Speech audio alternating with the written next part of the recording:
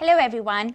Welcome to another episode of Critical Conversations, where we talk about hot topic issues related to American Muslims and other targeted communities.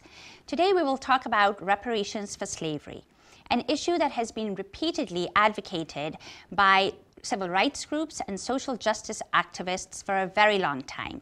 However, it recently became part of the national conversation when presidential candidates made it into a campaign issue.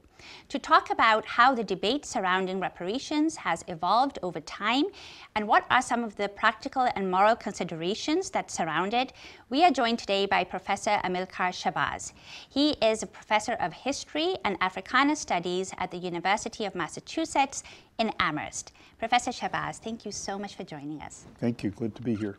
So we'll start at the beginning. Um, so when exactly did the conversation around reparations begin, and how has it evolved over time? Very good. It, in one way, we have to situate the uh, the struggle for reparations on. Um, there are two levels we can have this conversation. One is on the individual claim of those for, for whom uh, slavery was an act of wrongful taking of people's labor, of people's wealth, of people's productivity. And that individual level can be uh, traced back to the beginnings of, uh, to the first instances of slavery itself wherever you had Africans in the Americas who were enslaved that uh, found a way to uh, to claim their freedom, to press for their freedom, to uh, uh, assert their their desire to be free. And if an individual slave owner agreed and uh, worked out some arrangement for emancipation, well, right there, a question would would emerge: How am I to be repaid? How am I to be repaired for all of the years in which I have worked for you with uh, making nothing for myself.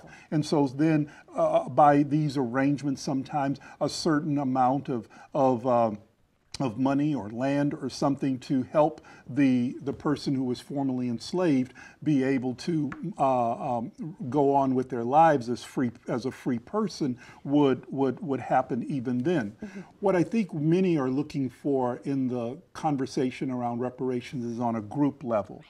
And on a group level, we can uh, trace some of this into the middle, middle of the 1800s, um, particularly in light of the efforts of something called the American Colonization Society, which was a group that claimed as its members uh, very important figures in the country. Indeed, uh, presidents of the United States even backed the effort to colonize Africans uh, out of the United States, to take them out of the U.S. and to send them back to Africa, notably Liberia, to, uh, to create a black state uh, in a black Christian state, actually, in, in Africa, and that uh, uh, monies and support were, were given for uh, these groups of Africans to return uh, to, to Africa to go to Liberia.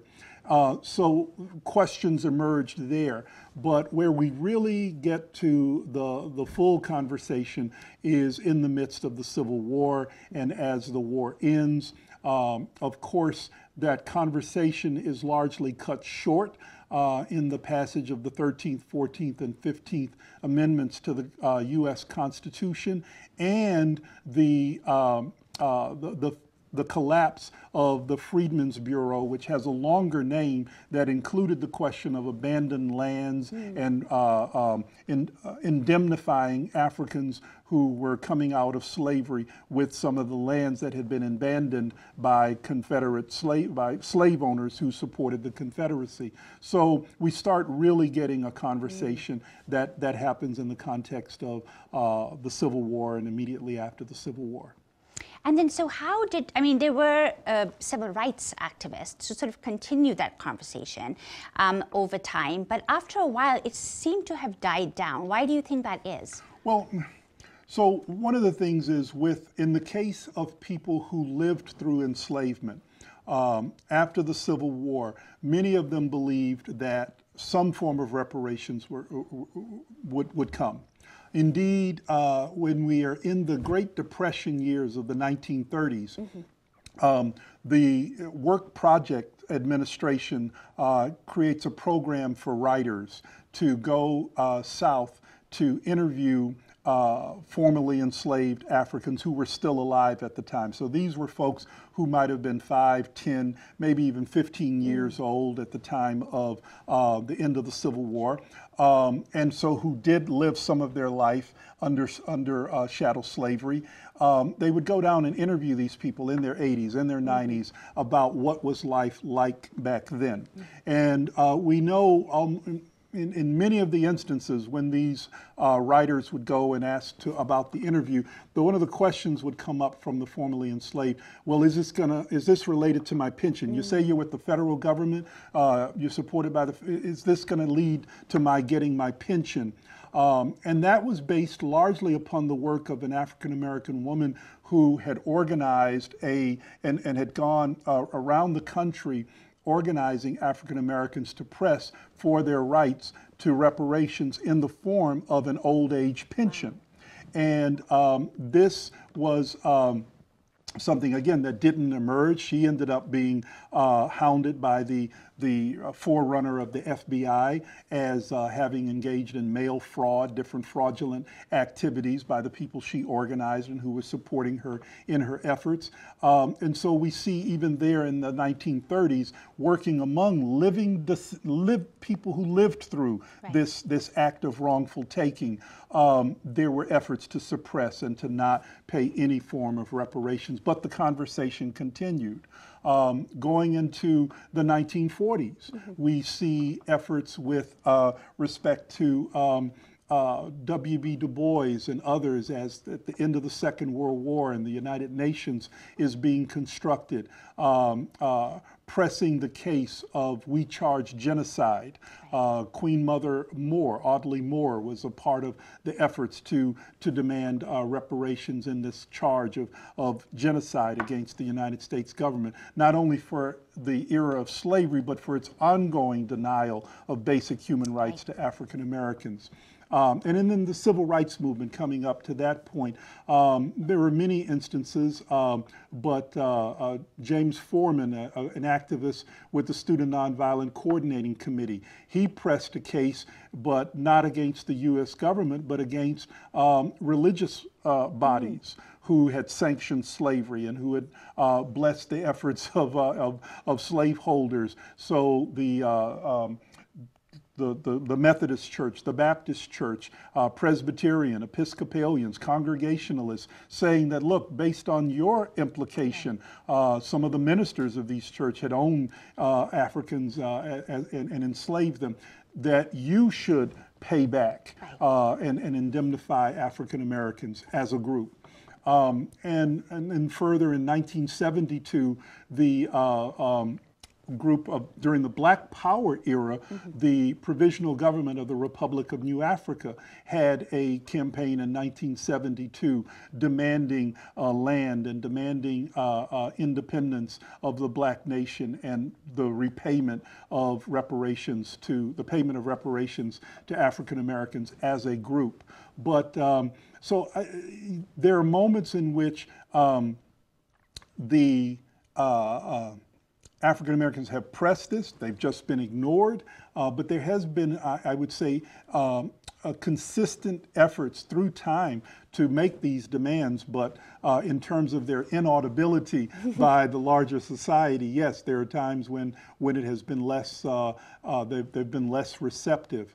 Um, the uh, um, more, the modern kind of efforts begin to emerge in the 1980s, 1990s, the establishment of the National Coalition uh, uh, for, of Blacks for Reparations in America, uh, Cobra as it's known by its acronym, really pushed a resolution that was uh, put forward in the House of Representatives by um, uh, James uh, John Conyers mm-hmm. of Detroit. And this measure, H.R. 40, called for um, a, a study process right. to really make an assessment of the wrongful taking and what form of repayment, how much, when uh, uh, could this be, how should this be administered, some type of reparations commission. Mm-hmm. And so Conyers had that bill, but uh, failed to get it out of committee, failed to get broader sponsorship for it. There wasn't much uh, much support uh, at that uh, th- for for many years, but uh, in more recent times, uh, it has. We, we've been able to kind of get get more attention to this. And so, I mean, if we um, talk about reparations for different minority groups in this country, it's not as if the U.S. has never apologized or paid reparations. Um, it was the Reagan administration that apologized and paid reparations to the Japanese Americans for their internment during World War II. The Clinton administration apologized and paid reparations to victims of the Tuskegee experiment. Why do you think that there is such a resist- resistance and reluctance around apologizing and then paying reparations for slavery? Um, I'd like to tell a, a little story on that. Um, when I was starting my career as a university teacher, um, I spent a year uh, at Prairie View A&M University. Uh, I uh, was hired um, by a division of political science and history, and uh, my immediate boss was uh, a man who had been an activist in the movement as well as a political scientist um, named uh, Mac Jones, and then uh, also uh, the first African American woman to receive a PhD in political science was my dean, Dean Jewel Prestage. And one of the things we worked on, um, I worked on with uh, uh, Dean Prestage, was a grant to uh, bring in a, a prominent speaker to campus. Um, and the person we chose and, and wrote the grant for was uh, John Hope Franklin. Now, John Hope Franklin writes one of the first textbooks in African American history, From Slavery to Freedom. He's well, um, uh, the, considered the dean of, of, of African American historians, uh, prominent figure amongst all historians throughout his life. Um, and, and indeed, he did come. But because of the work that um, uh, uh, particularly um, Imari Obadele, um, who was a professor in the politi- uh, political science at Prairie View when I was there. Um, some of the work he did and I uh, worked with of educating the students about reparations during the Q&A of Professor Franklin's talk where he was really talking about what was going on in Bosnia and he was relating ethnic conflict there to ethnic conflict in the United States. Well, a question came up from one of the students about what about the question of reparations for African Americans? And um, at that time, uh, this would have been about 95, I want to say, or 96, um, he just sloughed it off and said, you know, let's let's be realistic here. Let's talk uh, about things that uh, uh, have have a realistic chance. White Americans don't want to hear anything about reparations, and so this this is just foolishness for us to to uh, spend time here talking about uh, reparations for slavery. Let's or, or for any form of reparations because of the wrongs that have been done for us. Let's let's not waste our time talking foolishness. And And he's an African American professor. right? absolutely. Yeah.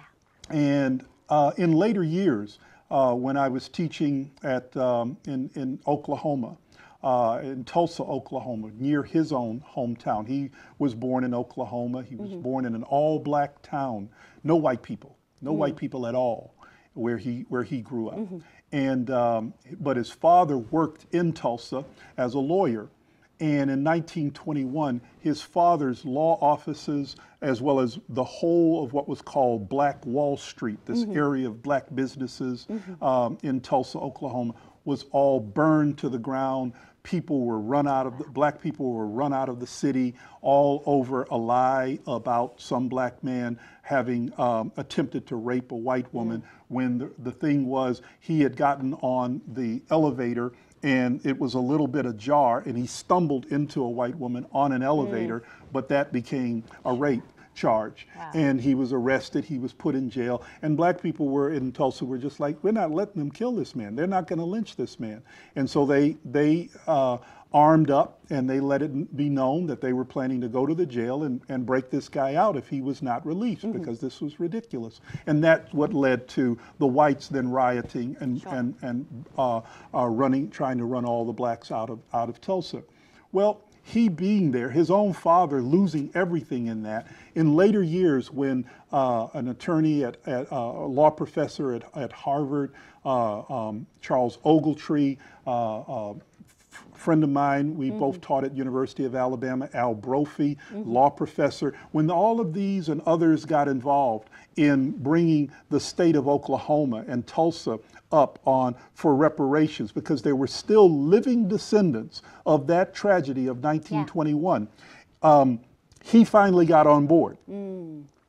Because part of his thing was, well, if there, in that case, there were still living descendants. I see. And he started changing his tune and started before he, he was dying, beginning to think about the whole reparations issue in broader and more meaningful ways through his own experience of what happened to his father. So um, and his family and how they were they were uh, almost ruined by that by that tragedy. So you know it, it, it before even talking about the the resistance beyond African Americans, we have to look at the resistance amongst us African Americans. And um, I- partly for me as an educator, I like to think it's an educational problem. As, as we explain more, as we look at, as you say, other cases of where there have been reparations, um, even where there are no living descendants, but also where there are living descendants. In the case of, of Jewish people after World War II, in the case of um, the uh, uh, uh, the internment of Japanese uh, American citizens in uh, in World War II. In the case of, of Native Americans, there are Indian nations Sure. that that are, um, uh, have been paid reparations by the U.S. government. And as we begin to study all of these kinds of instances around the world, um, as we look at how Haiti, after it gained its independence from France, the French demanded reparations from Haiti for all of the enslaved Africans that constituted property for them that they had to be repaid. Otherwise, they would continue to, Yeah. to be at war with, with, with the Haitian people. So when we look at all of these instances um, and, and really begin to analyze it, I think that opposition within um, and among African Americans has come down. And I don't know what the polling is, what the most recent polling is, but I think a majority of African Americans are positive about the, the, uh, the conversation So now. uh, now Right. on and, reparations. And there was, I mean, there was a very recent polling done, uh, Data for Progress, among the sort of the general U.S. population, but they found that only 26% of the population supported reparations As a whole of the United as, States. as a whole of the United States uh, supported reparations for slavery. And you know, some of the um, uh, arguments against paying reparations is, um, you know, includes things like, well, who will be paid? Um, does everybody get the same amount? Um, who are we? Uh, who's you know needs to pay for for reparations and everything? So how would you respond to those concerns that people have around reparations payment? I think it is a, um, a, a problem that needs to bring together uh, a lot of um, some of the people who really look at this carefully, um, who can look at it from a standpoint of what would be um, uh, very meaningful ways, both on an individual level as well as a group level. For, for reparations. Um, my friend and my mentor, uh, Imari Obadele, one of his proposals when he was alive was of reparations that uh, was of a reparations commission that would um, uh, have process both individual uh, checks, if you will, individual uh, payments, but also have some of this that could be used to address group issues and group concerns uh, of, of African American people, which they themselves would be empowered to, to vote on and to study and to vote on what kinds of things as a group. For example, um, how do we remember our history? How do we remember um, uh, our our ancestors that were victimized and and erect proper monuments and proper uh, ways in of, of, of being able to study and educate about our past. Yeah. Um, you know, there's there's museums now here and there, but but what about a fund? What about part of the reparations uh, money would, would constitute an endowment that could support those kinds of initiatives to better educate and to provide historical markers and to provide things? That's just one example. Right. Um, so there could be ways in which this commission could look at both uh, ways as a group, uh, uh, certain kinds of things for the entire group of African Americans that would benefit, but then also how to process individual payments. Um, my former teacher, when I was an undergrad, has uh, uh, put a lot of uh, his intellectual energy on this as an economist and as a thinker, uh, William Darity. Uh, uh, Sandy Darity has looked at a lot of this, and uh, I think some of his ideas. Uh, Richard America, another, actually, black economists have been on this pro- project for, for many, many years, looking at what the numbers might look at, how it could be paid out. Um, but so from Richard America all the way to Julianne Malveaux and, and, and Sandy Darity, I would say we've got great minds that can help us figure this out. Absolutely. And so, and not, I mean, just in, you know, the form of direct cash payments, but institutional and other ways of being able to sort of redress that historical injustice. Um, so, uh, Professor Shabazz, we've talked about how the federal government has apologized and paid reparations for to different communities.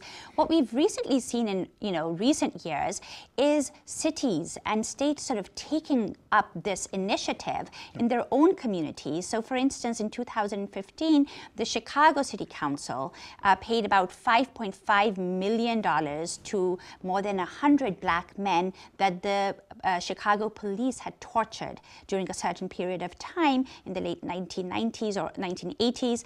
And uh, they knew who those individuals were, who were victims of that torture, and were able to pay them reparations. And the uh, mayor at that time, uh, actually Mayor Rahm Emanuel, had also right, who's going had mandated that public schools teach about that story of p- police brutality within their classrooms.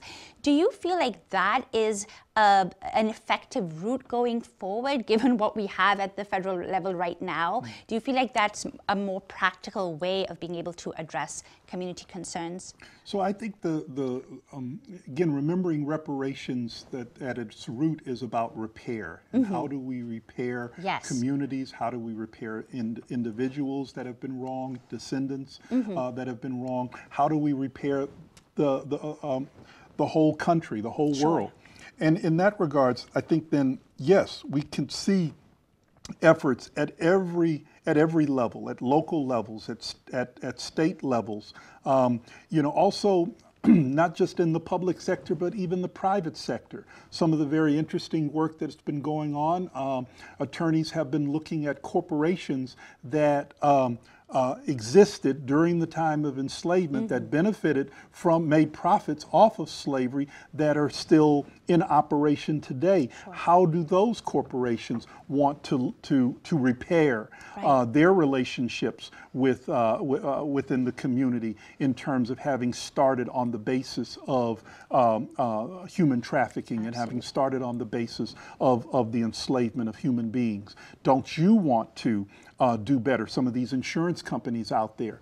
So um, I, I think that at every level, at, uh, to individual corporations, to churches, uh, we've got a lot of churches around here that. Uh, um, uh, that have been continuously operating, where some of the uh, earliest ministers um, had human human beings held as slaves. You know, what might they want want to do about that? Bob Romer um, is one of our uh, um, physicist turned historians who has done a lot of work on uh, this area of the valley from Deerfield to Amherst, and and, uh, uh, and notably in his research are the uh, uh, is evidence about the the enslavement of, uh, of African people here uh, uh, into the 1800s that, that went on. So, where's our responsibility here to teach about that, to educate about that, to provide proper uh, uh, markers and, and, uh, uh, and, and, and to find ways to, again, repair uh, the, the harm, the damage that was done? Sure. And so, in terms of the uh, Democratic presidential candidates who've been talking about this issue recently and have made it into a campaign issue, um, what do you think that is going to do in terms of giving this issue momentum? Do you think there's significance in what they're saying? And do you feel like the, some of the issues, some of the policies that they're suggesting are um, actually, you know, concrete proposals that are actually going to, um, you know, uh, address some of the historical injustice and sort of repair intercommunal relations. Here's what I would, would say. Um, you know, even right now, if every African American in the United States was a millionaire, there'd still be a just basis for reparations. I have the feeling that in the election, um, uh, on the Republican side, um, the if, if Donald Trump is the is their nominee, um, that he will point to the low unemployment rates and this, that, and I quickly answer that by saying, well, you know, whatever the, however low the unemployment rate is under Trump, uh, that's nothing. Uh, it, we had absolute 100% full employment under slavery. so what does what does a low unemployment rate Right. really mean Right. to this? And and so again, even if all African Americans in this country were, were were millionaires, none of them living below the poverty line, none of their children on free and reduced mm-hmm. lunch, even if we were all doing wonderfully well in millionaires, there would be a legitimate basis for reparations. And again, it wouldn't necessarily have to be in the form of a check, or even if it was, if we were all millionaires, we could take that check and then donate it to a to a trust. Yes, yes. To a trust that could do things like, again, educate about our history, that could do things like, you know, uh, properly remember this tragedy such that we never let it happen again, such that we never engage in human trafficking again, such that we never uh, uh, wrongfully take from uh, people from from a, from a, a- another land and uh, suppress their rights and and force them to to to work for nothing. Right.